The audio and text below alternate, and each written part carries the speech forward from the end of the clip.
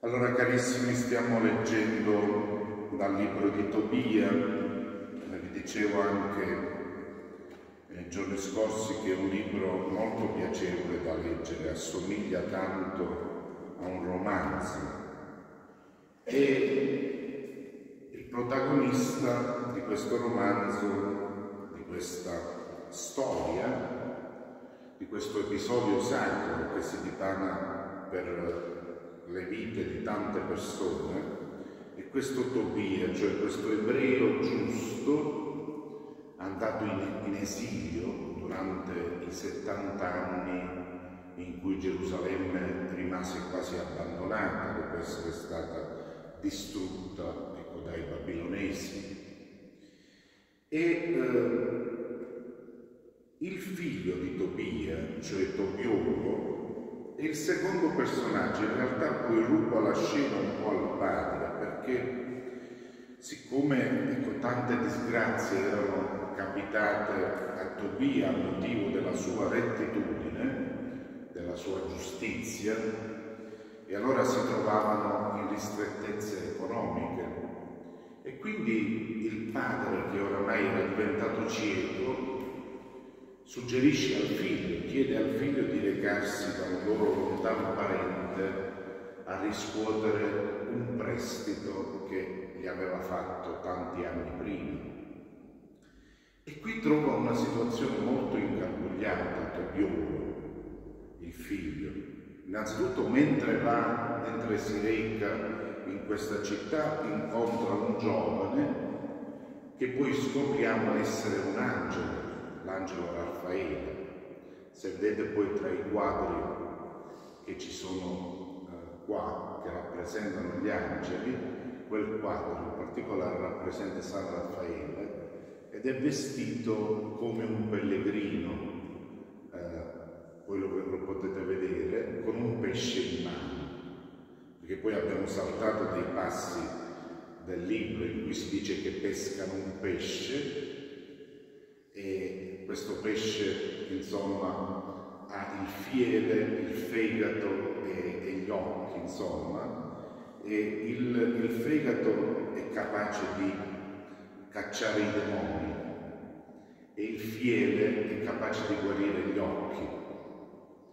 E questo pesce è il simbolo di Cristo, sapete che anche nelle comunità cristiane primitive quando si vedeva un pesce voleva dire, voleva significare proprio il Signore Gesù. E allora però in che senso c'è un imbroglio in questa famiglia di questo lontano parente? Perché la figlia unica di quest'uomo, che si è arricchito proprio grazie al prestito di Tobia, si è sposata sette volte, ma ciascuno dei sette mariti è morto prima notte di nozze e lei Sara è rimasta vergine ancora, pensate un po'. Quindi un demonio, Asmodeo, si accanisce su di lei. Ora noi possiamo trasportare ai nostri giorni questa storia perché? Perché noi vediamo che nelle famiglie del nostro tempo contro le famiglie nel nostro tempo veramente si accanisce il demonio. La vita familiare è molto insidiata. Al di là dei divorzi, al di là dei matrimoni solo civili, purtroppo sono dei cattolici che celebrano i matrimoni solo civili, per cui fanno capire che non ci credono nella benedizione di Dio, non hanno bisogno della benedizione di Dio al di là delle convivenze, no?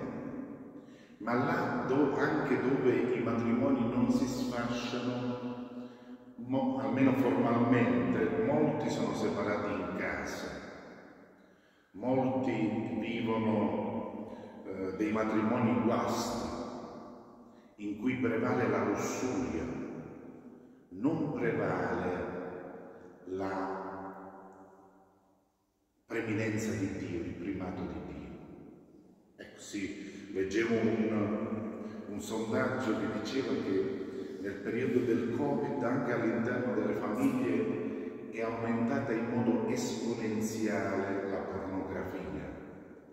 Ecco, molti cristiani non sanno che la pornografia è un grave peccato, per non parlare poi di tante altre pratiche che esistono. Vedete, non ci dobbiamo scandalizzare a parlare di queste cose perché il mondo ne parla e non si fa nessun tabù allora c'è un accanimento, proprio come contro Sara, c'è un accanimento del diavolo contro le famiglie, per distruggere le famiglie. E le distrugge in due modi. Da una parte facendo loro smarrire il senso del sacramento del matrimonio cristiano. Dall'altra parte facendo prevalere ecco l'aspetto genitale della sessualità. E allora come si reagisce a tutto questo? Ecco, qui la lettura non lo dice perché già era lunga la lettura, sarebbe durata parecchio ancora, però loro prendono il fegato di questo pesce e lo mettono sul braciere perché il profumo di questo fegato allontana il demonio impuro, il demonio meridiano, Asmodeo. E poi però si mettono a pregare. Si mettono a pregare e vedete la preghiera che fanno, tutti e due insieme. Benedetto sei tu, Dio dei nostri padri, e benedetto per tutte le generazioni del tuo tu hai creato Adamo e hai creato Eva, sua moglie, perché fossero di aiuto e sostegno l'uno all'altro. Da loro due nacque tutto il genere umano. Tu hai detto non è cosa buona che l'uomo resti solo, facciamogli un aiuto simile a lui. Ora, attenzione, non per lussuria io prendo questa mia parente, ma con animo retto. Degnati di avere misericordia di me e di lei farci giungere insieme alla vecchiaia. Allora la preghiera caccia il demonio impuro. Però attenzione, la preghiera vera e poi la preghiera fatta insieme. Ecco, questo è un dato importante. Marito e moglie non solo dovrebbero pregare ciascuno per conto suo, ma dovrebbero pregare insieme.